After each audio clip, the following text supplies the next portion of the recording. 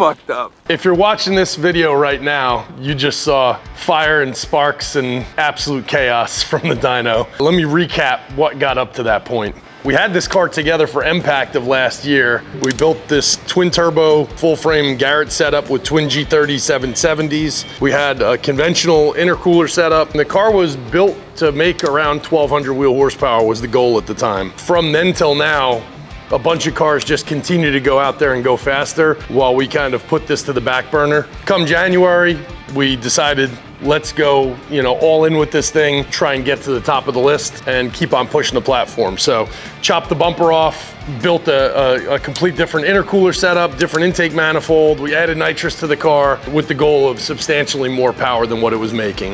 We upgraded all the driveline components to be able to handle it. We took out the built stage two trans and ended up putting in a stage three trans. We did that like moments before this last event. We basically got the car on the dyno. It tuned very nicely. Uh, we switched over from EcuTek to MHD Plus. We were one of the first cars to, to get that up and running in their beta testing. Yeah, after a little bit of growing pains with that. We were quickly on the dyno and we got it right up to about 1300 wheel horsepower on just boost. Then we started spraying nitrous, which we were originally planning on trying to run for the full track. And our first shot car made 1375 or 76 wheel horsepower. Clean pull, logs look good. We then decided to turn it up a little bit more. That was the end result as far as you saw in the video.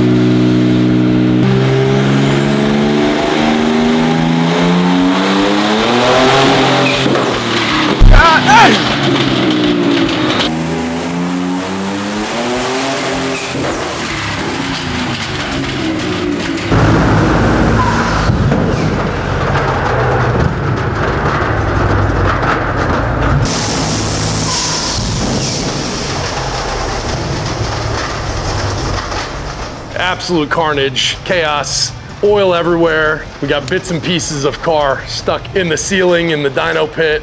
Right. It's not good when you can see the underside of the car from the reflection of the 40 quarts of oil on the fucking dyno.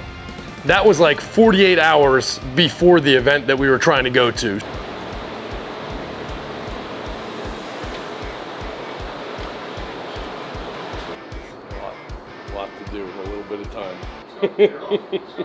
Someone made the decision to rip the thing off the dyno, drag it into the shop. We have spares of everything. So we have multiple S58s, we've got multiple transmissions, we've got multiple diffs, axles, you name it, because we were planning on pushing this thing. We knew we were gonna have failures, we just weren't expecting a failure at that moment. We basically ripped the car apart and we got all the guys in the shop to go, all hands on deck, tore everything apart. We got new rods and pistons, uh, shipped to us same day. We got a bunch of valves so that we can try and see if we can salvage the ported head or if we were gonna have to slam together another stock head. And within a matter of a very short period of time, we had a running car. Chris, wake up. Does it work? Probably not.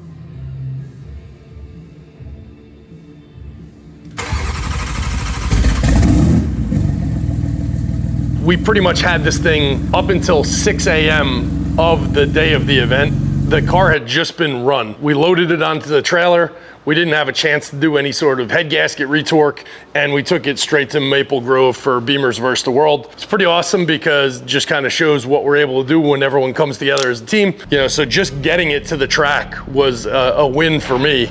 You know, we had to make a, a judgment call as to what we were going to do power wise, how we were gonna run the car, because we basically got one qualifying run and then right into eliminations. I decided to try and run a turn down one with some nitrous, a poor choice because it did some weird shit, it misfired. Yeah, long story short, first run was aborted. It didn't hurt anything, so that was good. Then we, uh, we turned the nitrous off, loaded up another map, again, untested on the street, untested on anything besides the dyno. Went out there, did a nice smoky burnout. Pretty much it, it launched nice, but trans did some weird stuff. It short shifted into, you know, third and fourth gear. And then I just got out of it because the pass was kind of an aborted thing. So fast forward to today, we basically got the car, pulled the valve cover off, doing a full retorque, getting this thing prepped to go back on the dyno, verify everything's good. And we're gonna be heading out to some more track days pretty much as soon as possible. Excited to see where this thing goes from here. We're definitely coming for that top spot.